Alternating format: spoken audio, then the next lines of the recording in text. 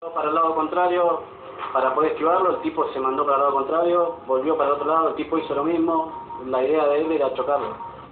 En este auto viajaba Marina y sus amigos. Ellos iban de Luján hasta General Rodríguez porque volvían a sus casas después de bailar. En sentido contrario, pero sobre la misma mano que va a Capital, circulaba esta camioneta. Su conductor, al ingresar a la autopista a contramano, fue el responsable de la fatalidad.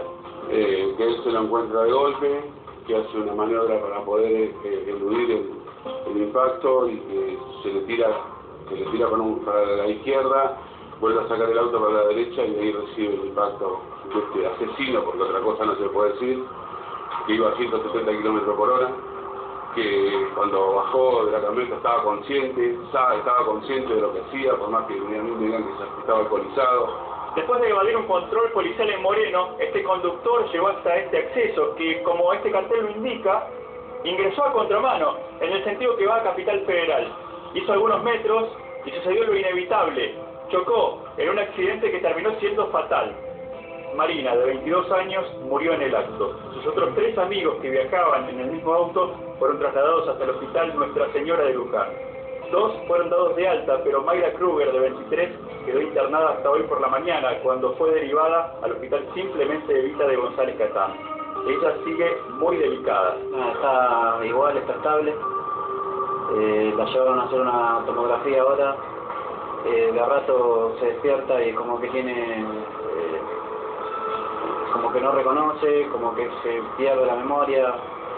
El conductor de la camioneta, Julio César Valiente, paraguayo de 53 años, se presentó este mediodía ante el fiscal Jorge Pablo Vieiro. Por la gravedad del hecho, sigue detenido. Bueno, eh, la realidad es que lo que hace eh, venir conduciendo de una manera temeraria es lo que provoca un primer este, intento por hacer eh, demorado en la vía pública por parte de un móvil de Gendarmería Nacional, eh, es cuando esta persona bueno resiste el accionar del, personal que estaba intentando identificarlo, eh, casi atropella a uno de ellos y bueno, vuelve a emprender nuevamente la marcha de manera totalmente temeraria, eh, ocasionando lo que todos ustedes saben. Esta mañana el conductor del auto en el que viajaba Marina y su acompañante llegaron visiblemente doloridos a darle el último adiós a su amiga.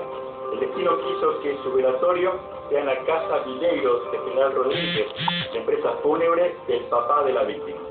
El, tipo lo único que le interesaba era chocarse con, contra el vehículo. Si él, si él ahora dice que se quería suicidar, eh, podría haberlo hecho de otra manera. Eh, tenía una pata arriba de la camioneta, se podría haber pegado una puñalada y no tenía que haber matado a una criatura como lo hizo. Que no quede impune este señor, que se pudra en la cárcel porque es un asesino, no puede estar viviendo entre esta sociedad. Un hombre que escapa de, la, de, va de un control policial, que se le escapa la gendarmería y que después me pregunté yo si se daba cuenta de lo que estaba haciendo y se sonreía y que dijo que me iba a matar a mí también. Y estamos en vivo con el tema. Claro, no pueden dejar de pensar los chicos que se salvaron, sus familias, que podrían haber corrido la misma suerte que esta joven, Pablo Yunta. Claro, por supuesto, y sin ir más lejos, la hija de Fabián Mayra, la otra chica que iba en el asiento trasero, está en este momento, Fabián, luchando por su vida. Sí, sí, Mayra está grave, está con un pronóstico reservado, no sé cómo es, hay que esperar cómo evoluciona eh, el transcurso de los días, hay que esperar y, y bueno, está en el hospital de González Catán y, y bueno, esperar, no queda otra que esperar, solamente esperar. Fabián ojalá se recupere muy pronto. Juan Carlos es el padre de otro de los chicos que iba en el auto que chocó contra esta camioneta. Fue inevitable y esto fue muy importante para la causa en la declaración de su hijo. ¿A qué velocidad iba este individuo, por llamarlo de algún modo? Mira, eh, nosotros tenemos conocimiento de la patrulla que lo seguía iba a 120 kilómetros por hora y esta persona se, se escapaba cada vez más. De hecho, nosotros calculamos eh, que iba 150, 160 kilómetros por hora.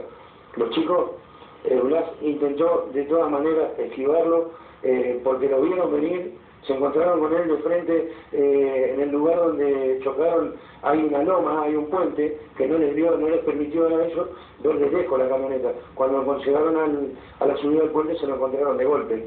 Eh, nada, mi hijo me dijo que se hablaron con el amigo y le dijeron, se miraron ellos y dijeron, este, este tipo está loco. Y sacó tres veces el auto para, para no chocarlo y definitivamente el tipo los encaró y ahí fue donde lo, lo, chocó, le pegó en la puerta del lado izquierdo y bueno, nada, pasó todo lo que pasó, no sé qué, es un asesino que no tiene perdón de Dios de lo que hizo, ¿sí? Juan Carlos, muchísimas gracias. Bueno, las últimas novedades del caso, este hombre se negó a declarar frente a la justicia y ahora están esperando que pase su carácter procesal de aprendido a detenido. El fiscal de la causa considera y busca probar que él actuó con dolo y con un desprecio total hacia la vida de estos cuatro jóvenes. Gracias, Pablo. Se incendió un avión